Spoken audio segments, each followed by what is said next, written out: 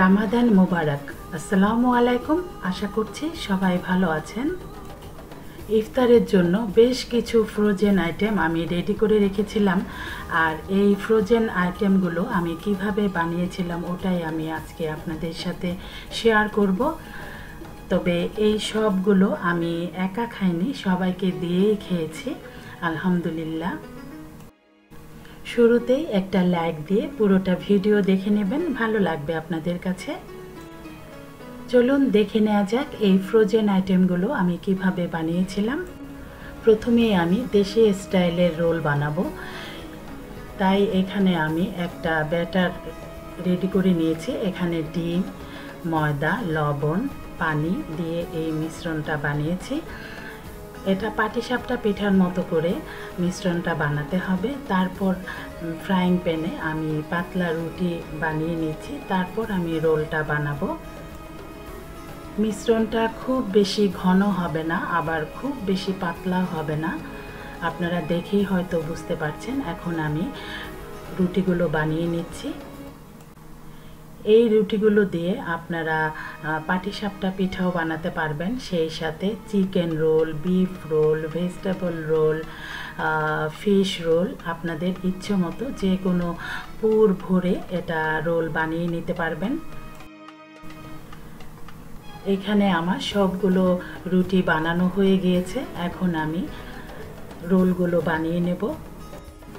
আজকে আমি দুই রকমের রোল বানিয়ে আপনাদের সাথে শেয়ার করব। এটা হলো সবজি দিয়ে রোল বানানোর জন্য কিছু সবজি নিয়ে টেস্ট অনুযায়ী লবণ, ঝাল দিয়ে আমি রেডি করে নিয়েছি। আপনারা আপনাদের টেস্ট অনুযায়ী অবশ্যই নিয়ে নেবেন। আর আপনাদের পছন্দ মতো সবজি দিয়ে দিতে পারেন। আমি এখানে কর্ন দিয়েছি, আর দিয়েছি পাতাকপি, আছে গাজর। তারপর আমি একটা মিশ্রণ রেডি করে নিয়েছি। এখন কীভাবে আমি রোলটা বানিয়ে নিচ্ছি, আপনারা দেখেই হয়তো বুঝতে পারবেন। এখানে আমি সবজি দিয়ে রোলটা করছি। সবজির জায়গায় যদি চিকেন দিয়ে করেন, তাহলে হয়ে যাবে চিকেন রোল। সেমভাবে বিফ রোল, ফিশ রোল বা এগ রোল, যেভাবেই আপনারা করতে চান, করতে পারবেন। একটা রুটি নিয়েছি, তারপর আমি কিছু সবজি দিয়ে পাশে থেকে ময়দা আর পানির মিশ্রণ করে দিয়েছি, কারণ এখানে যেন এটা সিল হয়ে থাকে বা ভাজার সময় বের না হয়ে যায়। আপনারা চাইলে ডিমের মিশ্রণ দিয়েও এটা লাগিয়ে নিতে পারেন। আমি এখানে ময়দা আর পানি দিয়ে একটা মিশ্রণ করে, পাতলা মিশ্রণ করে রুটির সাথে লাগিয়ে দিয়েছি যেন এটা খুলে না যায়। এইভাবে করে আমি সবগুলো রোল বানিয়ে নিয়েছি। অনেকে রোল এইভাবেই রেখে দেন, ফ্রোজেন করে, তারপর যখন খাবার সময় হয়, খেয়ে, ভেজে খেয়ে নেন। তবে যেহেতু আমি দেশি স্টাইলের করব, তাই এখন আমি প্রথমে একটা গোলার মধ্যে আপনারা দেখতেই পাচ্ছেন, এখানে ময়দা ডিম পানি দিয়ে একটা মিশ্রণ করে রেখেছি, ব্যাটার বানিয়ে রেখেছি, পাতলা একটা ব্যাটার। ওটার মধ্যে প্রথমে আমি চুবিয়ে নিলাম, তারপরে ব্রেড ক্রামসে গড়িয়ে নিলেই হয়ে যাবে দেশি স্টাইলের চিকেন রোল বা ভেজিটেবল রোল যেটাই বলেন না কেন। ভিতরে যে পুরটা দেবেন, সেটার নামে এই রোলটা হয়ে যাবে।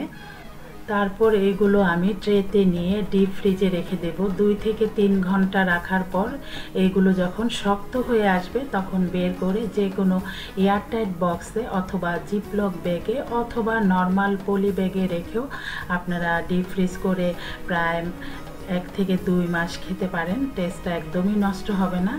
অনেক মজার এই রোলগুলো। এইভাবেই আমি সবগুলো রোল বানিয়ে নেব। আপনাদের কাছে আমার ভিডিওটা যদি ভালো লাগে প্লিজ একটা লাইক দিয়ে দেবেন কমেন্টস করবেন শেয়ার করে দেবেন ফ্রেন্ডস অ্যান্ড ফ্যামিলির সাথে। আর এখনও যারা আমার চ্যানেলটি সাবস্ক্রাইব করেননি প্লিজ আমার চ্যানেলটি সাবস্ক্রাইব করে পাশেই থাকবেন। আর যারা করেছেন, তাদের অসংখ্য ধন্যবাদ। আমি এখানে দুই ধরনের ব্রেড ক্রামস ইউজ করেছি। কিছু সাদা আর কিছু অরেঞ্জ কালারের আমি প্রথমেই চিকেন রোলগুলো বানিয়ে ডিপ ফ্রিজ করে নিয়েছিলাম। আপনারা দেখতেই পাচ্ছেন। খুব বেশি মজার হয় রোলগুলো আপনারা বাসায় ট্রাই করতে পারেন। আর আমি এখানে চিকেন আর ভেজিটেবল দিয়ে করেছি। আপনারা চাইলে ভিতরে আলু দিয়েও এইভাবে রোল বানিয়ে নিতে পারেন।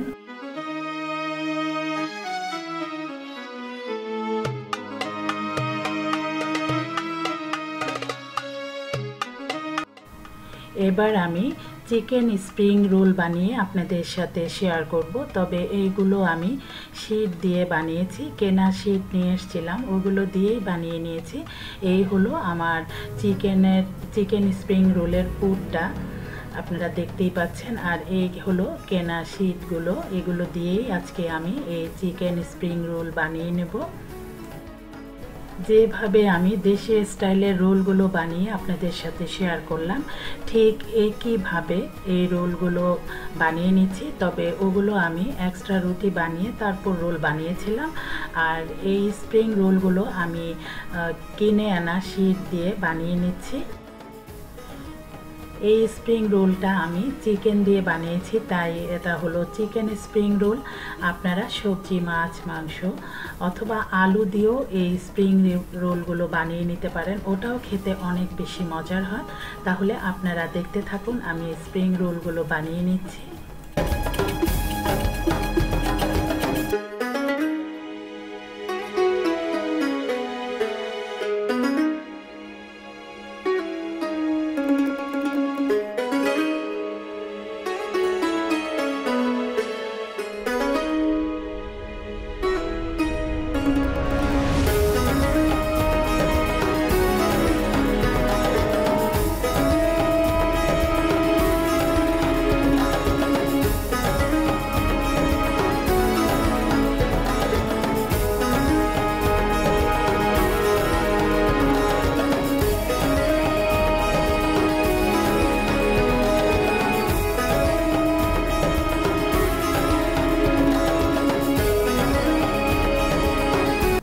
রোলগুলো আমার বানানো হয়ে গিয়েছে, এখন আমি ডিপ ফ্রিজে রেখে দেব। যখন শক্ত হয়ে যাবে, তখন এয়ারটাইট কোনো বক্সে অথবা জিপলক ব্যাগে অথবা পলি ব্যাগে করে আমি সংরক্ষণ করে রেখে দেব।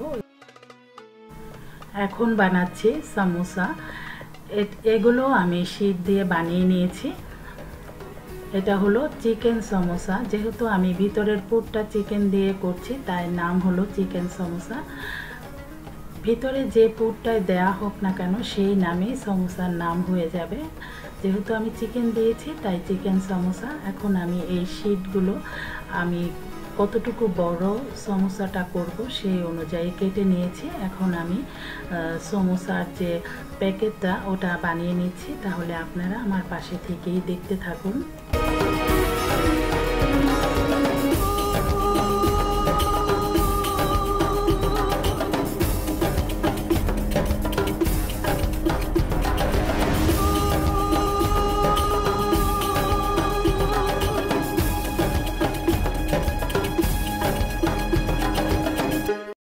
আমার বানানোর সুবিধার সুবিধার্থে আমি প্রথমে কিছু এইভাবে প্যাকেট বানিয়ে নিয়েছি। তারপর আমি ভিতরে পুর দিয়ে সমোসা বানিয়ে নেব।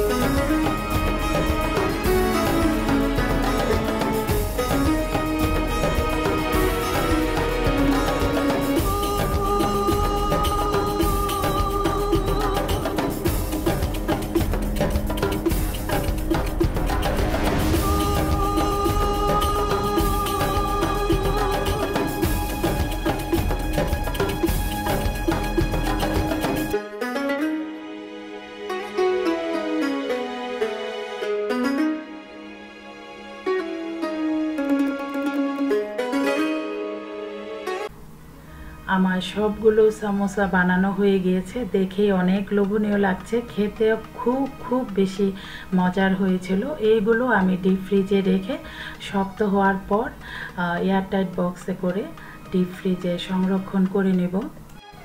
এখন আমি প্লেন পরোটা বানিয়ে নেব। এগুলো আমি ডিপ ফ্রিজে সংরক্ষণ করব।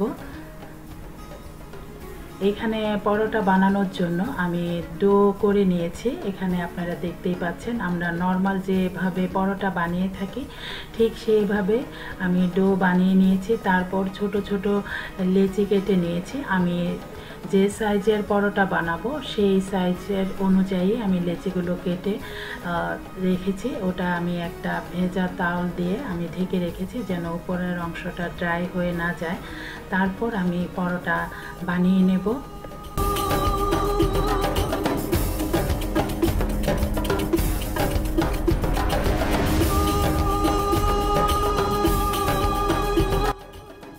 আমি কিছু পরোটা আগে বানিয়ে রেখেছি। এখন আমি আপনাদের সাথে শেয়ার করছি কীভাবে আমি এই পরোটাগুলো বানিয়েছিলাম। প্রথমে একটা লেচি নিয়ে নিলাম, তারপর আমি রুটি বানিয়ে নিচ্ছি। আপনারা দেখেই হয়তো বুঝতে পারবেন। অনেকেই এইভাবে পরোটা বানিয়ে থাকেন আর যারা বানাননি, আপনারা একবার বানিয়ে দেখবেন। খেতে খুবই খুবই মজার হয়।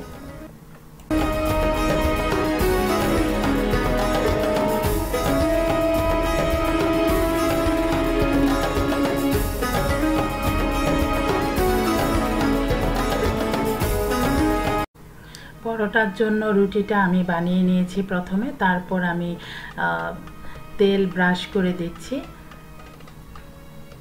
আপনারা এইভাবে রুটির পরোটার ভাজটা দিয়ে দিতে পারেন, তবে আমি একটু ময়দা ছড়িয়ে দিচ্ছি, তারপর আমি পরোটা বানানোর জন্য ভাজ করে নিচ্ছি।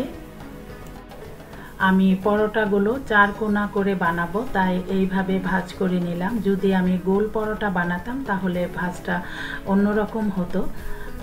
এখন আমি পরোটাগুলো বানিয়ে নিচ্ছি।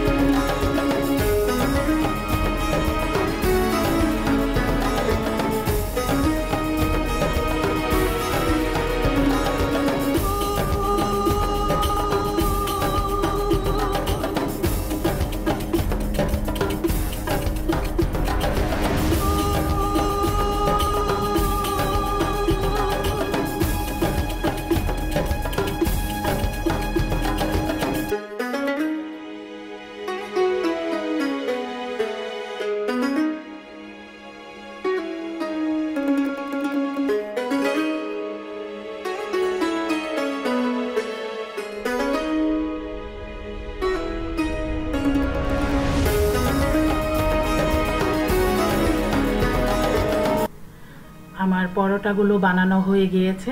আপনারা দেখতেই পাচ্ছেন, একটা পরোটা বানিয়ে তার উপর একটা প্লাস্টিক দিয়ে আবারও পরোটা দিয়ে এইভাবে লেয়ার করে আমি ডিপ ফ্রিজে সংরক্ষণ করে রেখে দিয়েছি। এগুলো এক থেকে দুই মাস ভালো থাকবে, তবে এই রোদ রমজান মাসে এটা অনেক, এতদিন যাবে না, এগুলো খাওয়া হয়ে যাবে। যেহেতু আমাদের বাসায় আমরা বিশেষ করে রুটি পরোটাটা একটু বেশি খেয়ে থাকি, তেলের ভাজা জিনিস একটু অ্যাভয়েড করি।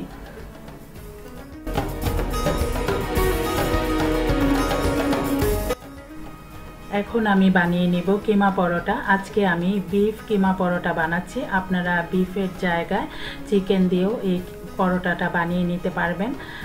নর্মাল আমরা পরোটা বানানোর জন্য যেভাবে ডো রেডি করে থাকি, ঠিক সেইভাবে আমি একটা সফট ডো রেডি করে নিয়েছি। এগুলো দিয়ে এখন আমি কিমা পরোটাগুলো বানিয়ে নেব। আজকের পরোটাগুলো আমি খুব বেশি বড় বানাবো না, আবার ছোট বানাবো না, সেই অনুযায়ী লেচি কেটে নিয়েছি।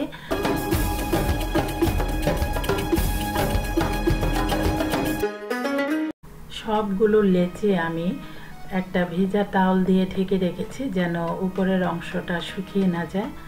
এখন আমি একটা কিমা পরোটা বানানোর জন্য লেচি নিয়ে নিলাম, আর এখন এই লেচিটাকে বাকির মতো বানিয়ে নিচ্ছি।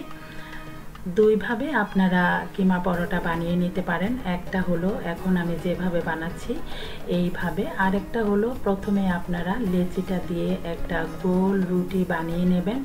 তার উপরে এই পুরটা দিয়ে সমানভাবে অন্য আরেকটা রুটি দিয়ে পুরের উপর ঢেকে দিলেই হয়ে যাবে পরোটা। তারপর দুই চারপাশে সিল করে দেবেন।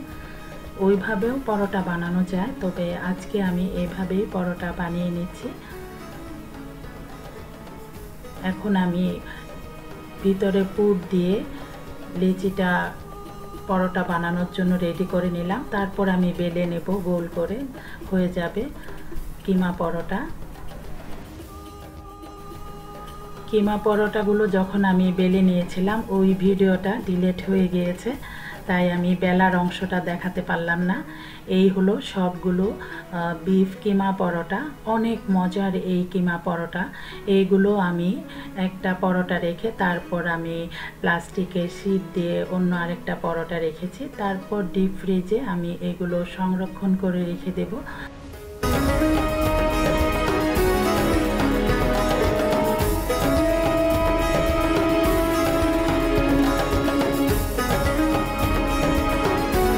সব শেষে আমি মুগ পাকন পিঠাটা বানিয়েছিলাম। ওটা আপনাদের সাথে খুব ভালো করে শেয়ার করা হয়নি। এগুলো ফ্রোজেন করে রেখে দেব। যদিও বা রমজান মাসে আমরা তেমন ভাজা জিনিস খাই না। তারপরেও আমি যেগুলো বানিয়েছি সবাইকে দিয়েই খাব। ইনশাআল্লাহ। আপনারা সবাই ভালো থাকবেন। রইল অনেক দোয়া। আমাদের জন্য দোয়া করবেন। আল্লাহ হাফেজ। আসসালামু আলাইকুম।